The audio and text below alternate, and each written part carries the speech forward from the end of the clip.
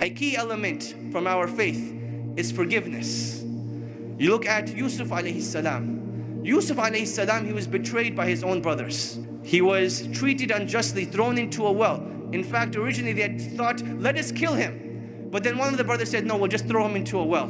He gets thrown into a well. He's picked up, taken into slavery. He's accused of something foul. And then he's imprisoned unjustly.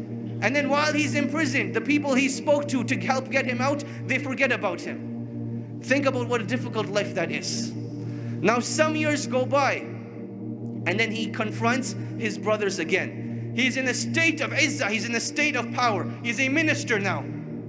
He can have them exiled, he can have them imprisoned, he can have them executed. But what does he do? He shows the epitome of forgiveness.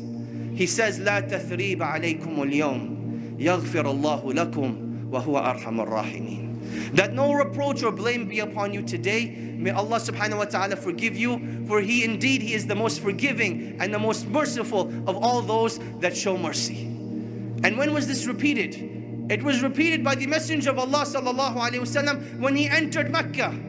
For 13 years he was persecuted, his companions killed, physically, mentally, emotionally abused. And then he enters Mecca in a state of izzah doing what he could have done. Again, he humbles himself in front of the Kaaba and he tells the people, La alaykum al that no blame or reproach be upon you today. May Allah forgive you.